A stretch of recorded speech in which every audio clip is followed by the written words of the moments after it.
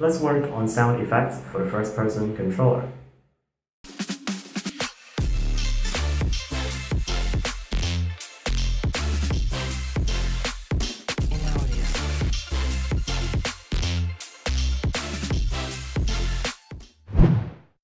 Before we begin, let's fix an issue in the jumping feature. Sometimes, even when the player is on the ground, the player will not jump even when we press the space key. We have to repeatedly press until the player finally jumps. To fix this issue, let's open up the player control script.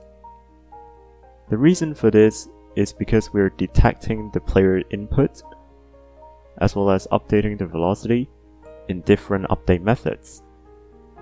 So sometimes the player's input is detected in the update method, but the fixed update method is out of sync. That is why the velocity does not get updated. To fix this issue, we simply take this line, which applies the new velocity to the rigid body, remove it from the fixed update method to the end of the update method. Now the problem will be solved. Back to the editor, let's work on the sounds. I've imported two audio clips here, a walking sound and a wind sound. Since these audio clips will be looped in the background, I strongly recommend you to use WAV format other than MP3, because MP3 files will sound weird when they're looped in Unity. Let's go to the player object and here we will create a new empty object. Let's name it audio. Inside, let's create an audio source object and the first one, let's call it walk sound. Drag the walk clip to the audio clip field and enable the loop property.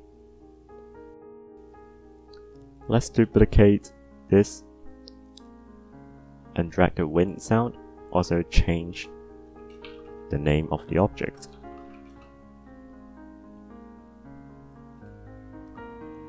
And now let's go to the player control script. And below camera effects, I will define a new section called audio. Here let's define a public audio source, audio walk, as well as audio wind. And below I will define a float variable called the wind pitch multiplier.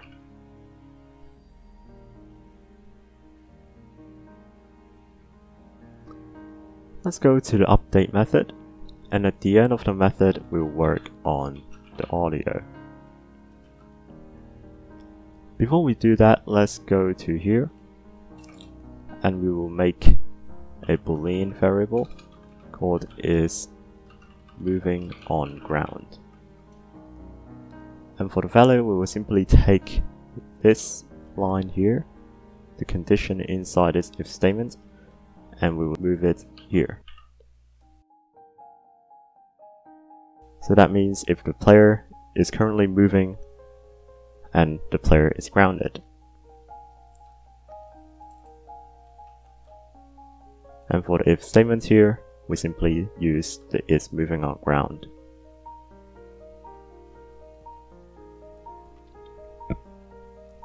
Now, for the audio part, let's write audio walk dot enabled is simply equal to is moving on ground.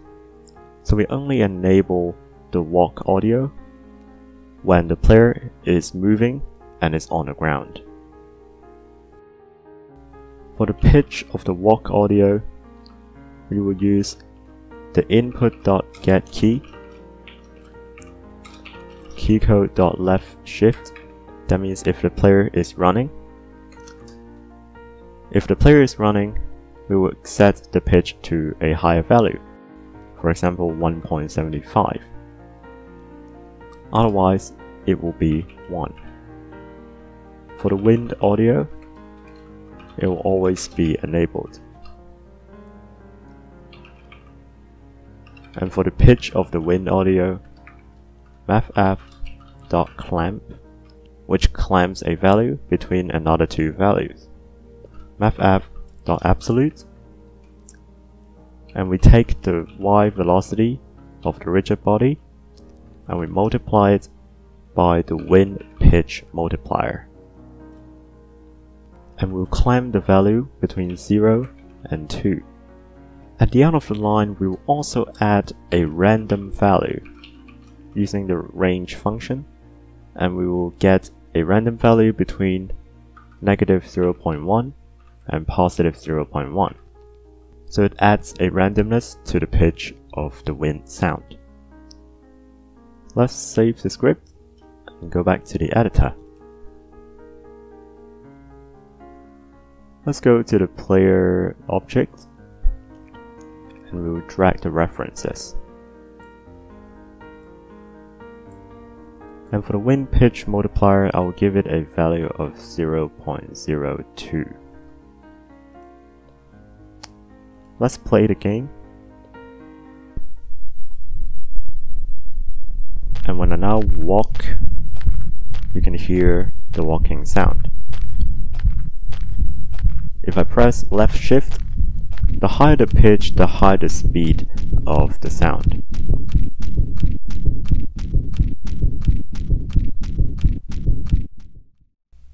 If we jump off the building, you will hear the wind sound.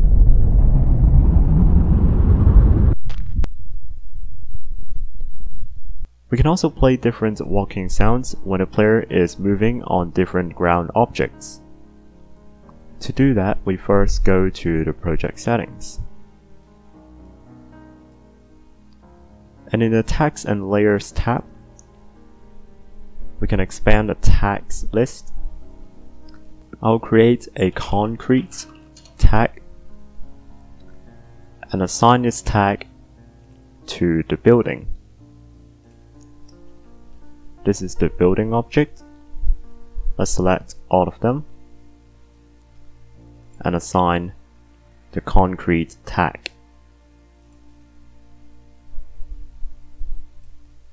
We can now go to the player controller and we will define a new audio source called audio walk concrete.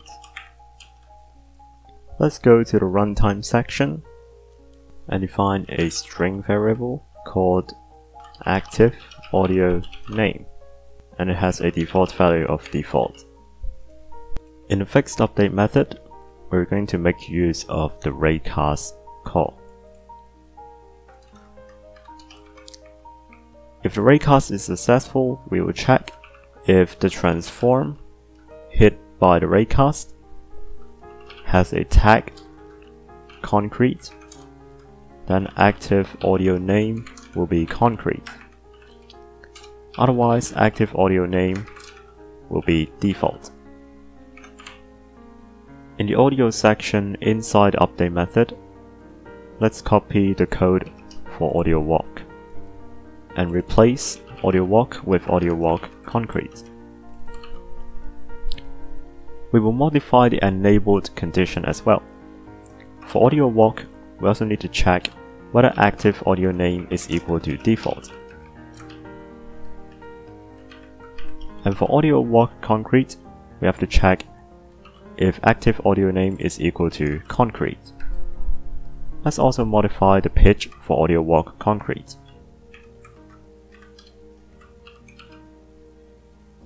Let's save script and go back to the editor. Now the player is standing on a building, which has a concrete tag assigned. Let's hear the walking sound.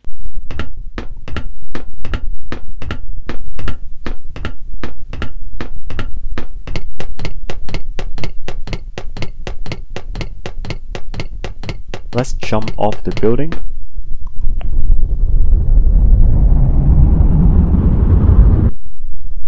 And now the player is standing on the grass.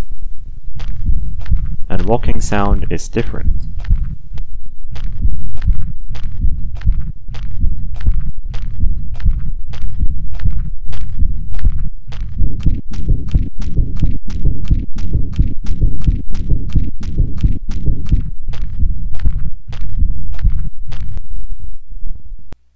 So that is how we work with the sound for our first person controller. In the next episode, we will work on picking up objects. I'm Yeahlowflicker and I will see you in the next episode. Stay tuned.